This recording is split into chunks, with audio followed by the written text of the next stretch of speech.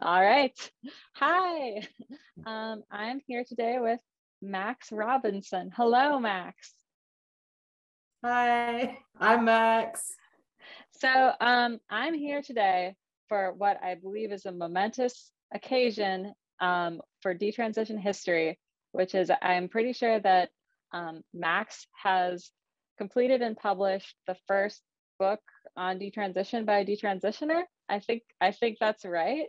Um, so Max for public for public consumption, I think. I think for public got, consumption. There was the there was the there was the uh, Blood Vision zine that was for Michfest distribution. That's right. And they sold it some, but they were they had their distribution vision. That's true. That was a little bit of like a secret community tome, but this one, yeah, they had like a specific audience, like that wasn't it wasn't public consumption oriented. Mm-hmm. So the and this one, this book is for is for everyone to check out. I think it's especially for detransitioners, um, and it's called uh, Detransition um, Beyond Before and After. And it's a really amazing book. I just read it. Um, but first, I would like to just give Max an opportunity. Do you want to introduce yourself to those who may not be familiar with you? Yes. Okay. Um, I am Max.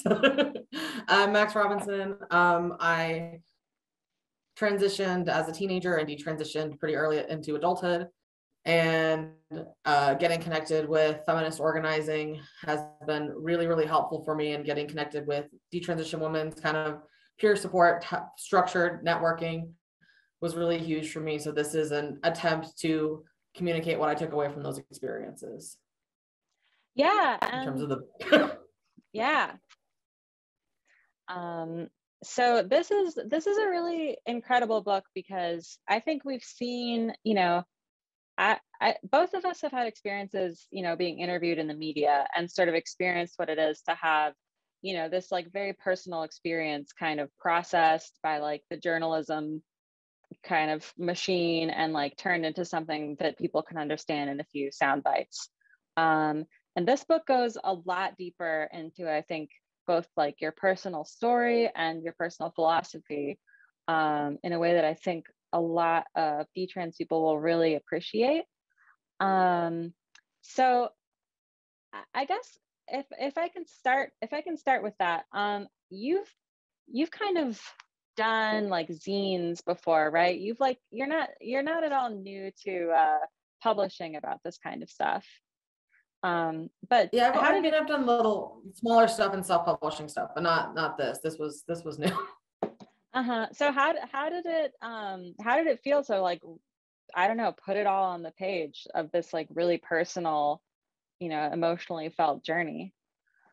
It's crazy. I don't know. It was really crazy. I wrote it all like like most of it I wrote during um like downtime at really kind of intense caregiving jobs.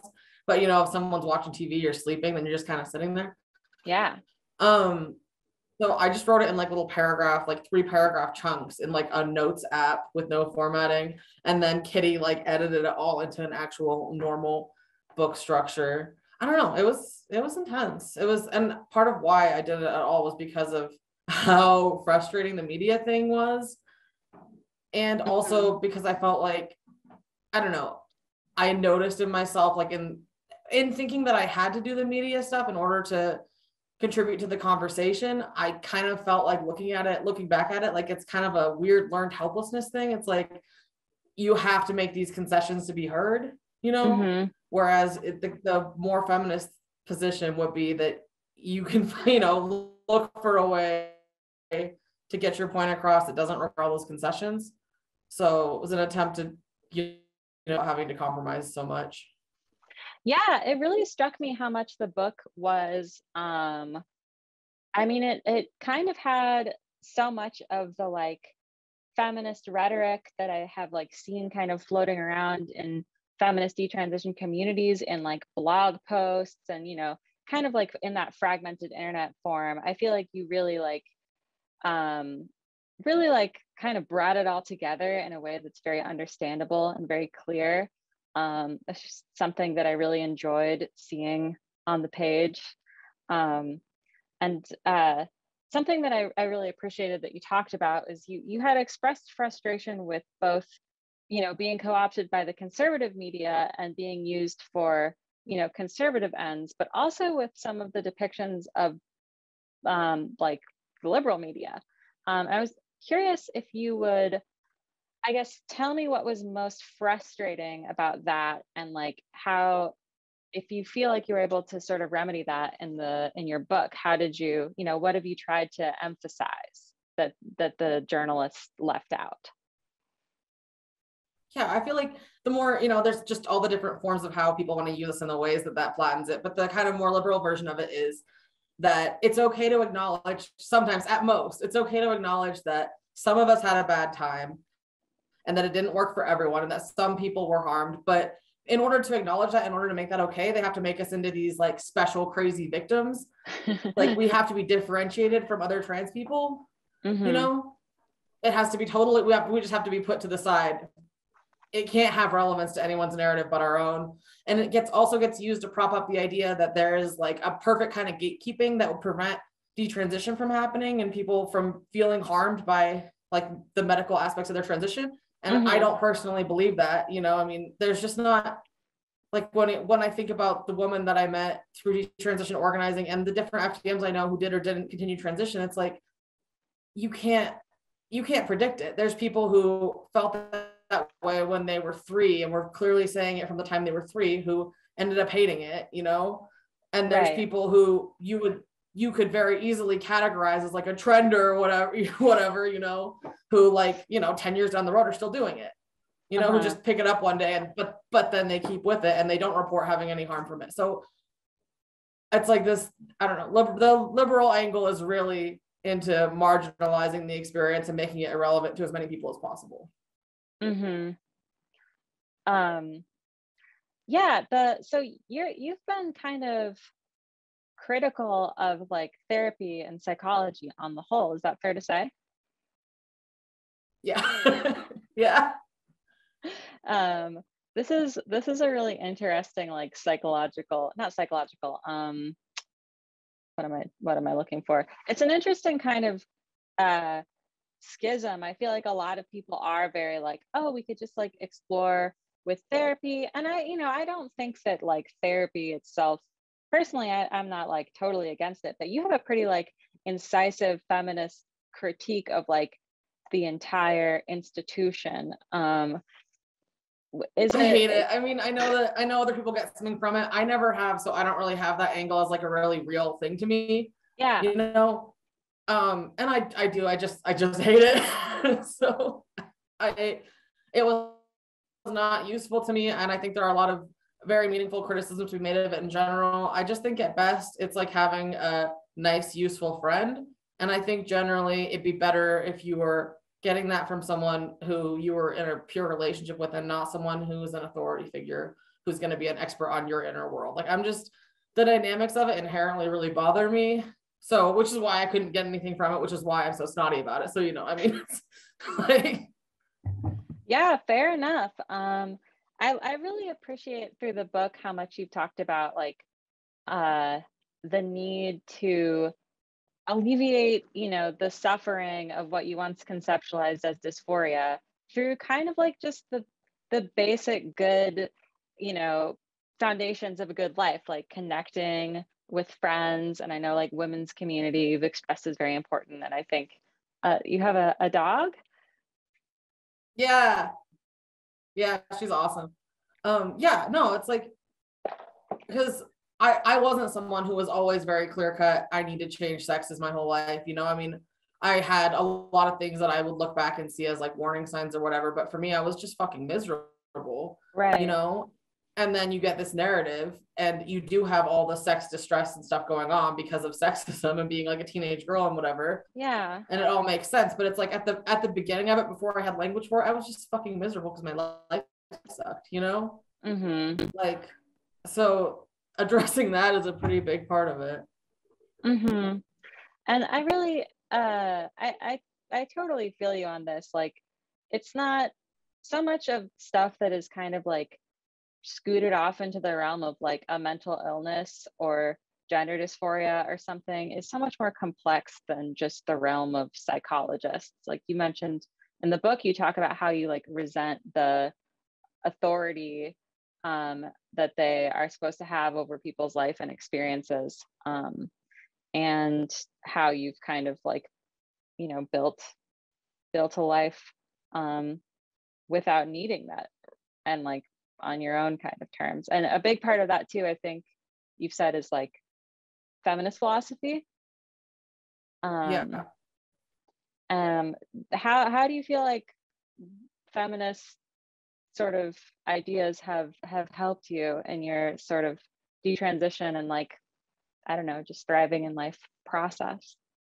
It's just like making sense of stuff. Like when I was when I was into trans stuff, it's like I was just as intensely, you know, I I'm someone who's likes having strongly held ideals and trying to implement yeah. them. You know, I mean, I was into it when I was into trans stuff, but even though like I I had a really strong emotional urgency to buy in because that's how I had hope for like my future. And it's I believed it was necessary to like support my friends and these other people who needed my support. It's like a lot of it didn't make sense very far down, you know, and you kind of have to do this like mental like gymnastics to avoid all the parts where you can't really logically justify it. And mm-hmm. for me, it's like I haven't really found that with feminism. It's like it just makes sense. And it's like so much less of my brain being used to like try and keep everything arranged so nothing doesn't make sense, you know? Um, and yeah, just I don't know, it's it's a more workable value system for me. Like when I'm I'm really into implementing my values, and when I did that in the trans and queer spaces I was a part of, it was a complete shit show. You know, I mean, you're like, you're like, sure, anyone can live in my house. Um, I'll send nudes to you because you're suicidal. You know, it's like the implementation of those values doesn't uh, play out as well as like, you know, like have like implementing the stuff in like Sarah Hoagland's lesbian ethics versus, you know, uh what what's it called? Hot allostatic load. Like Oh my god. One of those one of those one of those works a little better, you know? So uh, you've just described uh, I feel like you've really just given like a uh, evocative sketch of like a really nightmarish uh, sort of ideological scene that you were living in. Um, nudes because I'm suicidal. Oh my god. Um, yeah, that's, that's they need them. They, you could save a life. Oh no. Oh no. How did we how did we get into that? As- is it okay to send breast pictures if i'm ftm and they're like oh no don't worry about that. It's fine. Um when they're yeah. when they're lesbians. Oh my god. Okay so that that is obviously like very kind of obviously like probably egregious to most people in in the audience but um, i'm really glad that you've i guess found yourself in a less crazy scene because oh my god. Um and you know it's like we still have our problems but good god. The scale the the the scale scale of the issues and the ratio of how you know the, the amount of time between incidents of sexual misconduct is you know i mean it's expanded drastically. So and that's you know it's a step up for sure. That's all we can hope for in this life. No um sorry that's a that's a grim joke but um it is no you know it's grim but well something okay so just to to pivot a little bit something i really appreciated about your book. And i think this is again this is something that like many detransition women will have experienced is you put yourself out there and people often have a certain reaction which is based like basically purely on your physical appearance and like maybe on your ability to like bear children. But like they're like oh that's too bad. Like she used to be so cute. Like you know ah that you know she looks so bad now like no one will be attracted to her like that feels very much like the focus. Um, and in your book you really reject that framing as the main harm of transition. And uh, you talk a lot yeah. about the idea of being okay as a strange woman. Um, would you be willing to say a little bit more about that idea and how you've talked yeah, about it that's like i mean that's you know they wanted to add they wanted the title to be detransition so it could be search engine optimizable, you know. Um, Yeah. and I was okay with it because I hate almost everyone else. So I like the idea of taking it from other people.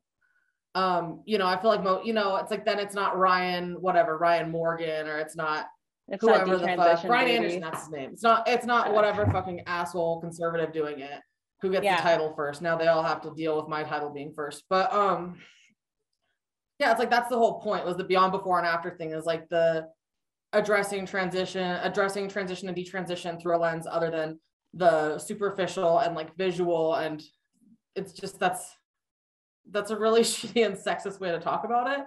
Mm-hmm. Um tell me the question again. I got distracted. Yeah. Well, just to say more about that, like I think um, you know, people sort of are focused on the surface and being like, oh, it's you know, too bad. You look like a man now. But I think you are really good at conveying how it's not just like a oopsie, I look wrong now thing, but it it was more of a psychological process where you were trying to achieve something for yourself and then came to realize that this was not the way to do it. Um, Yeah. so what so what I guess what were you trying to do with transition and like why did you realize that it was wrong? I, I like, you know, I wanted to be happy. I wanted to have a life. Like I just felt I felt extremely hopeless at that point in my life. I did not know what I was going to do or how I could make myself feel better. And transition just has the steps, you know, like Mm-hmm. you've got you've got a series of things you do and at the end you're yourself and you feel like yourself and you like when you see yourself and you aren't distracted by how much you hate yourself and your body all the time and you just get to live your Mhm. life that's what appealed to me and i didn't end up you know ultimately i could have achieved that without transition had things gone a little differently and Mm-hmm. i didn't need to continue transitioning to achieve it you know Mm-hmm. and the I remember the the strange woman thing. It's like because I work, I worked not really now. Um, I worked in developmental disability support services, um, Mhm. and for most people who I was doing services for, if they're confused with my appearance and they're repeatedly asking the question, I could generally solve it by just being like, you look weird. You know, I mean, they're they've been through special ed, they've been in like employment enclaves and stuff. Like they they know some people look really different. You know, Mhm. regardless of kind of where they are. That's a framing that makes sense to everyone. And it's like I wish I could say that and not be regarded as I wish that was socially appropriate to say to everyone. It's like some people just fucking look weird. You know? it's like that's Mm-hmm. Yeah. that's that, that's all like it, as, as long as we're like a social we're social animals that have we're going to perceive norms and what's the most common way to be there's always going to be people on the outside of that and it just needs to be okay because it's never not going to be the case on any on anything on any measurable thing that you can see somebody's going to be on the far side of it Yeah, and I love I love the way that you talk about that because you're saying like just because I look strange to some people does not mean that I can't have a good life, that I can't be happy and like have meaningful relationships. And I just love the way that you break out of that frame and sort of, you know, be like, fine, whatever, I look weird. It's Yeah. not that big of a deal. That's very I feel like that is an empowering thing to absorb in like the real sense of the word empowering. Yeah, yeah.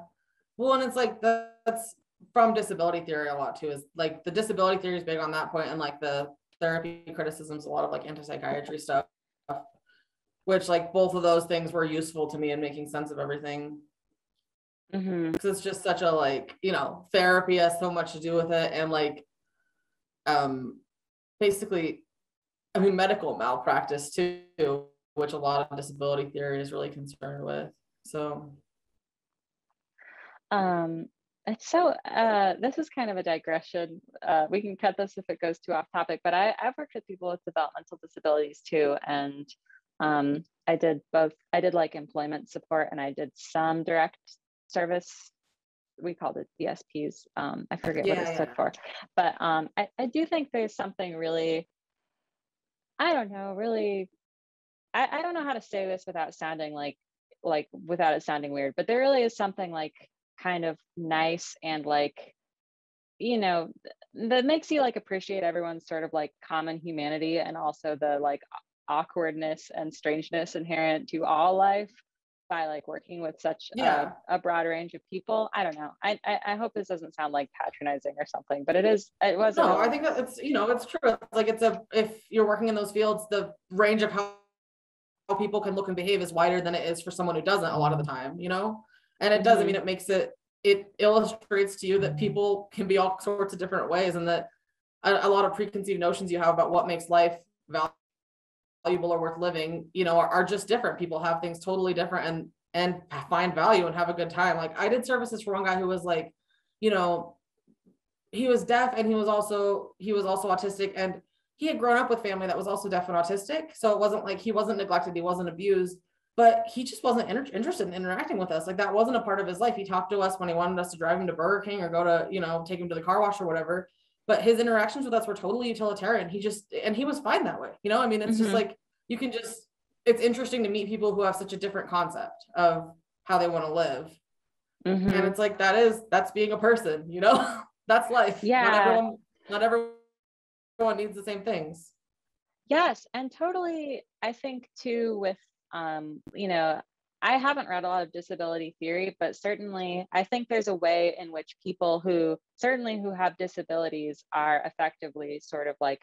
sequestered away from mainstream society in these like care homes a lot of the time. I Yeah. uh, I know that's not unilaterally the case, but I think a lot of the time people are kind of tucked away in, in their own little worlds and just to yeah, just to see like there's there's a whole there's a whole range that's like far beyond kind of the neurotypical world. And yeah that everyone is like can be living in really different ways and like have valuable important lives. And just to experience that is it's good. It's good. It's Yeah. it's it, it makes a difference. I don't know. Like it's it's useful. Because it's like i mean that's that's reality. That's living in reality is people are that diverse and people are that different and there are that many different ways to understand what makes life valuable and what's good about living you know like it's cool Mhm. to see it and have it be real Yeah, and I think to bring it back to your book, I really appreciated how you sort of like refused to portray yourself as this like abject, pitiable,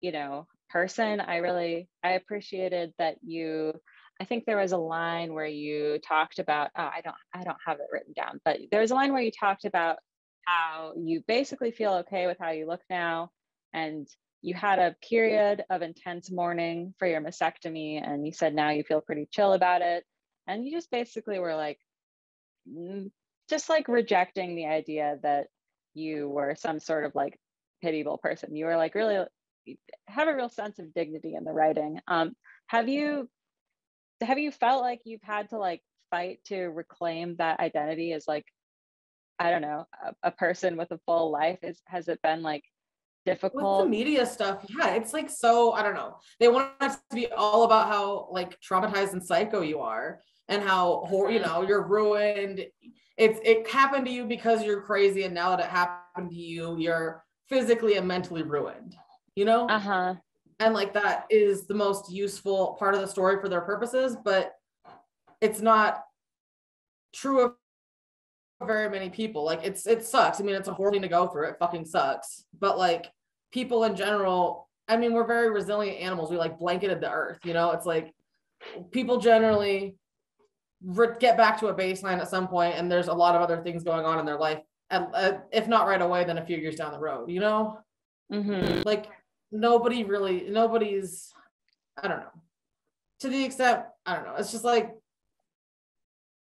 people who are ruined by this like there's a lot of other things going on and a lot of other it's just the idea that this experience inherently makes you have nothing else going on is crazy. That's not.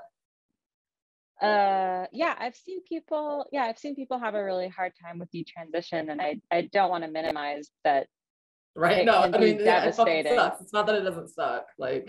But i love i love how much you are kind of spreading a message of hope and resilience.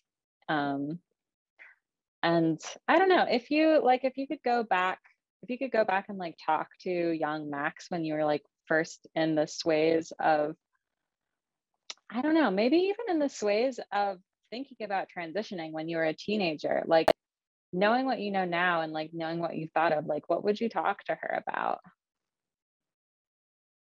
I mean, a lot. I try. I really tried in the book because it's like I only I have the best understanding of my, you know, my personal issues rather than someone else's. So a lot of that is what would have been useful for me to hear and addressing my own, you know, what my concerns were and what was confusing to me earlier before, you know, now I understand.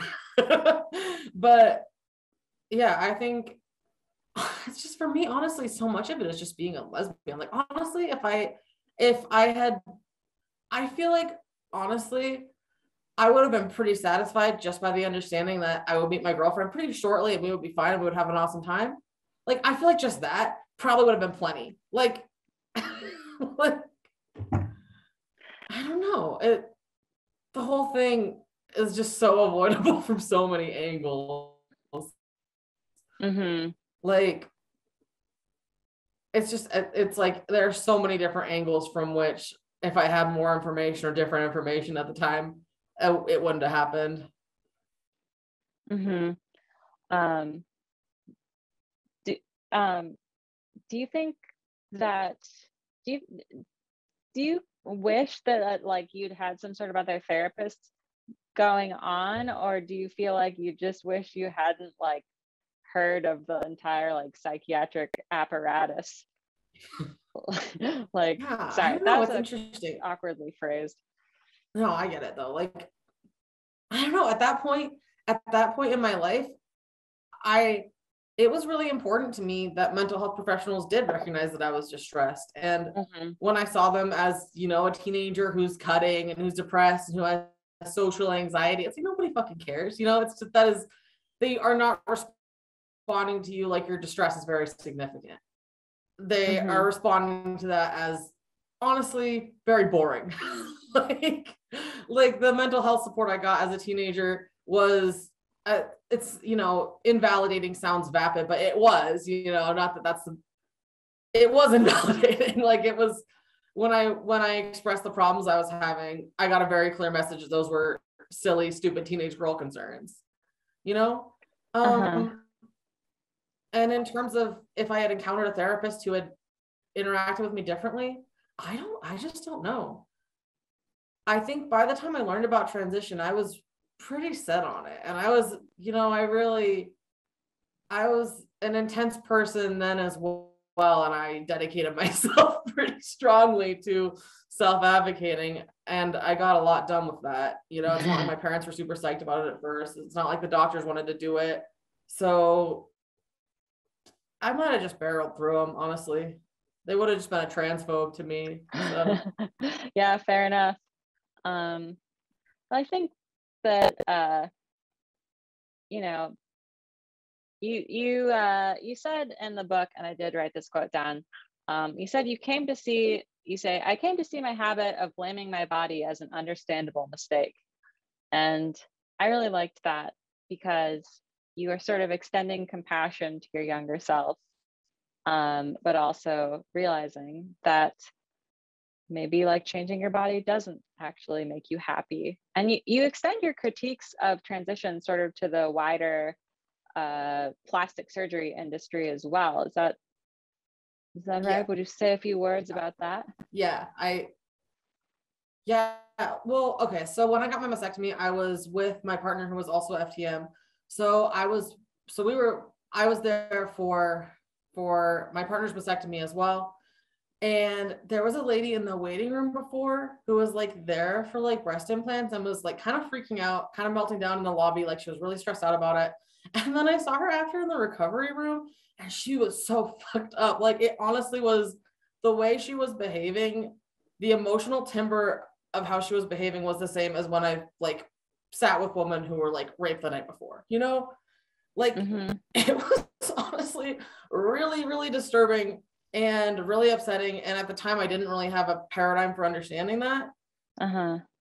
And I feel like that experience of like seeing a woman, I don't know what else she thinks about it and what else happened in her life, but having at least at that point an experience of being traumatized by surgery like literally like at the same time as my partner's mastectomy was occurring it was really disturbing for me and uh, it really made me think about the connections between those things whenever I was actually ready to think about anything. so mm-hmm. yeah, I don't know. I think there's a lot. I think there's a lot there. And I think it's also like a big part of the book to me was contextualizing transition as something that can happen to women and as a female experience and as something that it just gets set apart. It gets set apart in a way that I don't think is honest. Mm-hmm. People want it to be so different from everything else. And I think it's important to people who are transitioning that it be different from everything else because that's why you know your suffering as someone who's FTM is more legitimate than a woman who is going to get breast implants when in reality I mean it's just as drastic of a surgery and she's getting it for just as drastic of reasons it's just it's just as intense yeah. to her and as real to her as anything else is to someone else like I don't know yeah I think um you talk about the kind of exceptionalism of the dysphoria framework and thinking like oh i don't have like women's problems i have trans problems and those are like way worse. Yeah. Yeah. Um and people do respond that way you know? Yeah. People care a lot i mean the obviously some people but Depends. in certain crowds which if you're doing it often you're in those crowds that just you get a lot more uptake people are a lot more interested in your suffering right because it's it's a yeah, it's a framework that's very understood in in those crowds. Not saying before anyone gets mad at me, but like obviously yeah. in like the queer and trans scene. um, like like we don't know, like like we're not aware that it's you know not everyone loves it when you're trans. yeah, yeah uh, that's a funny thing. It is uh, this is something that is is funny to think about too is the fact that it's like yeah there's a lot of you know there's a lot of animosity towards trans people in the world at large and there's a lot of you know people just being like ah they're a bunch of perverts like blah. But like really there are these little bubbles that are like they are very different like things you know people really idealize it yeah. and like mystify it. And i love how you i love how you kind of draw it back towards like the the woman who's getting breast implants and towards towards you know the broader like plastic surgery rituals and talk about how it's maybe an experience that is less exceptional. Maybe people wouldn't want to cut their boobs off but like probably a lot of people can relate to the feeling of like wanting to change their body in a way to make themselves feel better. Um, and yeah. you kind of question whether that is ever the answer um which like, yeah. i don't know it makes sense it? people do it but it's just like that's pretty grim you know mm-hmm um this is gonna be this is gonna be a little more like maybe esoteric but um you had a chapter where you talked a lot about mary daly um yeah. and i remember so i um if I can talk about myself for just a second, um, I was very much yeah. like kind of a Tumblr, like a Tumblr feminist in college and stuff, and was really soaking in that world and had sort of absorbed this message that was very like kind of like this like grim, like depressing, but like very surface level feminism. And I remember reading some Mary Daly, and I was like, this is so, it was like because she yeah. she's so wild and she's so she has such like a compelling and kooky and like enthralling style and she like even writes in a in an interesting she's 100% herself. Yeah. she's being herself. She could not be anyone else. And she's very energized. Like this is something i appreciate um you know i feel like i had been like absorbing all these messages that were like oh like women in the workplace, it sucks. And then like to read Mary Daly and have her be like, women, we're the freaking like creators of love, you know, just like we like it's, yeah. Just, it's just very energizing and refreshing. And it really, I don't know, I feel like it really shook me. Um, really kind of, I don't know, it was good. It was like a shot of adrenaline. So um uh you you talk about this idea of the the Sado ritual um, and connect that to transition. Would you be willing to say a little bit about that? Yeah, yeah. I I would need I would have to look it up to remember all the all the parts. So she's got, you know, she's being Mary Daly, she's got all her parts, but yeah, you know, it's just the idea that that there's ritualized abuse of women in our society that follow specific patterns. And it's just, you know, it's just kind of a way of connecting FTM transition to other forms of female suffering that Daly gets into. You know, it's like right. it's just the point is just to illustrate what's the same, which is kind of a lot, you know? Mhm. Like it's it just isn't as different as we want it to be. like yeah um yeah and and it seems like there's a way in which uh that there's this idea that we sort of find these rituals of like kind of hurting and like changing the body to sort of direct these energies that would be better spent like resisting environments that just are hostile to us and are right. not working for us. It's like it's a mystery. Yeah, it's a misdirecting of it. It makes more sense, and it's less harmful, and it's just living in reality to acknowledge what the problem actually is, and it's not. It's not how anyone looks. You know, it's fine. You can Mhm. look whatever way. It's fine. So. Mhm. Yeah. So, um, trying to think which one of these things I want to talk about next. Um, you you've you've found a better way of of like living and enjoying your life, and said a big part of that has been like accepting being a lesbian and like accepting that you like want women to be you know the main part of your your focus um yeah. What what kinds of like what kinds of stuff do you like uh, what does that look like for you? Like how how has your life changed? Yeah. Um God, it's just I don't know, it's it's kind of where you put your effort, you know, it's it's a priority to me to show up for women if there's something if there's an identifiable thing, you know, it's like we watched some ladies' dogs when there were wildfires here and just, you know, different stuff like that. It's just whatever if there's opportunities to do stuff for women, that's something that makes my life feel meaningful. Mhm. um, prioritizing relationships with women and working really hard to maintain those and stay up. I don't know. It's just, it's hard right now too, because it's like we live in the middle of nowhere. So we usually go and visit everyone and like, you know, it's not really, it's not visiting time. So it's kind of grim right now, frankly. Mhm. yeah um, but generally, it's like we would make it our priority to get to one or two different, you know, different land stuff in the year. Stay in touch with everyone. I don't know. It's nice. And just, I Um, mean, being around other lesbians is just really. It's it's been hard because we really haven't we haven't done that to the same extent we usually would, because of what's going on. And our friends in town for a while, we kind of had some like lib fem buddies, you know, who were we didn't hide our politics, but it didn't come up. So we were all kind of no, uh, it was it was ignored. And then they did a pediatric transition uh discussion at the library and uh we went and discussed and then they were all mad at us so we don't really have lesbian friends in town anymore um uh well that's brave of you to go uh show up to an in-person event and uh talk about stuff. me off. It was like- and the actual event went fine honestly like we were perfectly nice at the event like there were there were trans people there there were like parents and just random you know lonely enjoy library events residents of the community and we were all perfectly pleasant to each other. And then someone who was there who we know who had not participated at all in the discussion went and told everyone that me and kitty were transphobes. So. Ah well gosh. And that's when the local hormone prescriber unfriended us on facebook. No not the local hormone prescriber. Yeah local Wow. doctors hate this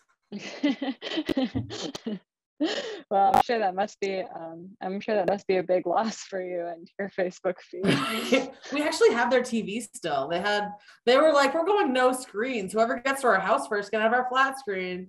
And we got there first. So we still have the local hormone prescribers TV. I don't even think they live in town anymore. We're rocking it. The TV's amazing. Totally free. That is that is quite a saga, but I'm glad you got a TV out of it. Um, and I'm glad you've been, but- you know, yeah, no, I'm glad you've been sort of speaking, you know, speaking up. And I remember that th- this is not this is by far not your first time sort of like speaking up and then having a backlash. Like, um, Yeah. th- is it Yeah, Uh, no, the fucking the Zazzle shit. Everyone, we we were, um, so we made you know, I started when I was a teenager to pay for my mastectomy and like uh at the time college. Um I was selling the print to order whatever shitty Joe Zazzle t-shirts, right? And Kitty does them now because I'm I'm just tired of it. Um, but uh when we talked on Tumblr about our beliefs changing and we weren't, you know, so it was so lukewarm. We were like, we were like, there's something funny going on here, basically. Uh-huh. about the amount of sexual violence that trans women were doing in the scenes we were in. Mm-hmm. And we were mm-hmm. so mild. We were like, they're not worse. Nobody's saying they're worse than men. Nobody's saying they are men, but there are some analogous patterns of sexual misconduct, and we're all pretending it's not happening, but it very obviously is. Mm-hmm. And everyone freaked. And mm-hmm. we're like, we should, and we're saying we should starve on the streets and we're boycotting our t-shirts. And it's like okay so okay. But we did lose money. I mean a lot a lot less sold after that. And people were saying that um people were saying that it was a it was a scam that it was a transphobic scam. And it's like i actually got a mastectomy with that. Like i literally got the t-shirt mastectomy. Like i I spent thousands of dollars that I earned selling shitty t-shirts to get a surgery I regret. So that was real. But whatever. Um, so you've you've you've weathered many sort of uh, re- social rejections because you're willing to speak out about your beliefs. Are you are you nervous about this book That's coming out? Uh, like do you, are you worried about about the book? book? Oh no, they all hate me already. Everyone, everyone who hates me already hates me because it's never been something that was really private. You know, it's like I won't, I don't make everyone talk about it, but if you force the topic, I'm not going to pretend I don't have the opinions I have. You know, I will mm-hmm. avoid the topic as long as everyone else avoids it. But once you bring it up, it's kind of on you at that point. so everyone who'd be pissed about the book knows. Um, yeah, I don't know. There's really nothing to take from me. Well, it's very freeing to just be like, all right, this is what I believe. And, you know, I, I, it was not me. I, I, don't remember the name of the woman who said this, but she was like, what are you going to do? Cut off my boobs again? Like, like it doesn't, it's just not that big yeah, Yeah, that's what's up. Yeah. Um, and it's like, I mean, I wouldn't put myself in a position where I could get screwed by. You know, it's like I'm not taking a I wouldn't take a job, not that I we qualified anyways, but it's like I'm not taking a job at a university. I'm not working for a nonprofit that would kick me if they found out this stuff. You know, it's like I just wouldn't set up my life in a way where it would make me vulnerable. So it's like when we were doing when we had an adult foster home for developmentally disabled people for a little bit. And it's like I was a little nervous when that was going on because it's like at that point there's other people living in the house who harassment could affect. Mm-hmm. Um, but it turned out I couldn't do that, and we just shut it down. So uh, that was the only thing. now there's now there's nothing. I don't give a fuck. So do whatever. Come and get me. Um. So besides the haters, of which there's always annoying throngs, who who do you hope will read this book? Like what? Who's who's the kind of audience that you're really hoping to reach? Yeah. So I mean, it was the only way that I could really write it in the way that I wanted to do it was by focusing on like a lesbian audience as the audience that I have in mind. Mm-hmm. Um, but I would hope the hope would be that in doing so, you can kind of produce a work that's true to what you want to say in a way that appeals more broadly, you know? Mm-hmm. So I would hope it's useful for women in general. Or, or you know, I, if, if a man wanted to read it, I, I would hope he liked it. Um, not sh- not sure what he'd be up to, but best wishes, right? Yeah. Um, yeah, I think.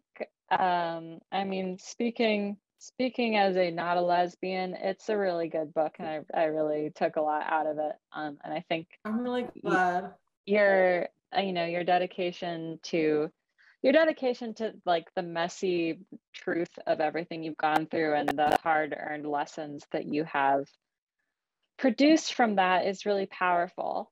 Um, I wanted to I wanted to do another quote from the book, if you don't mind. Um, you're talking about the Keira Bell case, um, and you said something that I think was is powerful as well. Um, is uh, you said this is what is possible when women politicize what happens to us. Bell's actions forced the institution responsible to acknowledge what happened to her was a possible outcome. Blockers and testosterone are not without risk. No aspect of medical transition is. Um, so, why is it important to politicize medical transition or like politicize detransition? Because it happens, you know, like because it's real. Like it's just not. It's not honest for people to want to live in a world where this doesn't happen doesn't harm people. That's not we it did happen and it did harm people. And of course it's significant to the particular people that it harmed. And they it's just it should not be an option to pretend that this never happens and that it's not going to happen more as the numbers of people transitioning increase and as there are less barriers to transition. It's it's it's a real thing. So you have to deal with it because that's the world you live in. Like it's real. That's why it matters Mm-hmm. Yeah, and because yeah, people's everyone's outcomes matter, and and having those be added to the conversation rather than swept away into a little corner of like, oh, statistically insignificant doesn't happen. Well, it's so fucking ridiculous for that to be coming from trans people. It's like if if being if being a tiny minority means that it doesn't fucking matter, then the whole we can just we can forget the whole issue. We can just forget the whole thing you know like that yeah.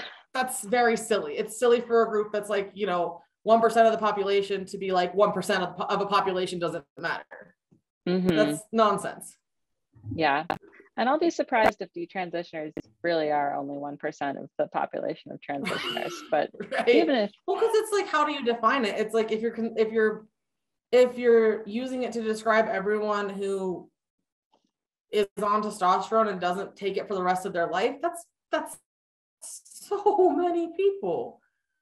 If it's everyone who used pronouns for a while and doesn't now, it's just it's kind of undefinable, but any definition you use is going to capture any reasonable definition you use is going to capture a pretty significant group of people. And if you combine all the different ones, it comes out to a pretty significant group. Mm-hmm.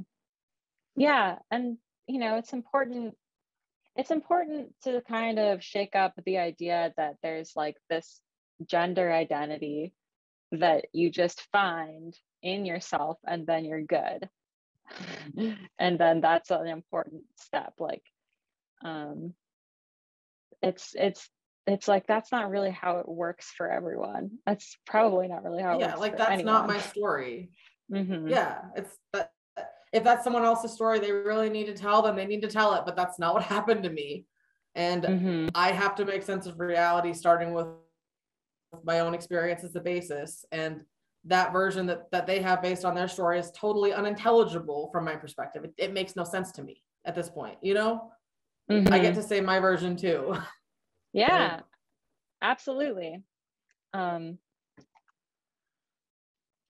so i don't know if you if you have any kind of like closing thoughts on like what what you are hoping the impact of this book is and like what the impact you know has been for you in writing it either one of those things. Like what what would you like people to know?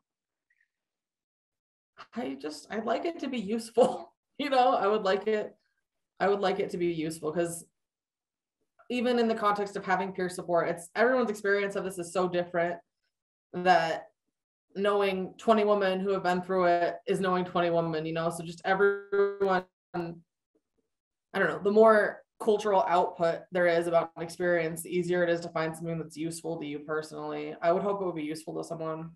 Mm-hmm. Um, and yeah, honestly, it was a tremendous amount of work. It's crazy how much work it is. It's like this tiny little book is very, is not visually impressive in terms of a representation of how much work goes into a book. It's crazy. And I screwed up the citations and we had to go back and do them all again. It's like everything that I could have done to make this more tedious and more work I did.